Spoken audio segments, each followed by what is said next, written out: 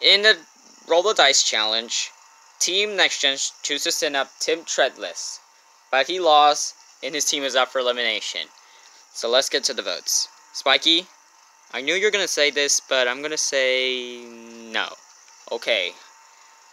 So let's get to the votes. Steve LePage, you're safe with zero votes. Spikey Fillups, you're safe with one vote. So you did do the right choice. And Tim Treadless, you're eliminated with two votes. Aww. Well, I knew I was gonna get eliminated. Since I rolled the um, dice on the lower number, I knew I was gonna get eliminated. Plus, I was responsible for the challenge anyway. I knew what you mean, Tim. So is that it? Um, yeah, that's it. Alright, goodbye. Alright, Team Next Gen's good luck your next challenge.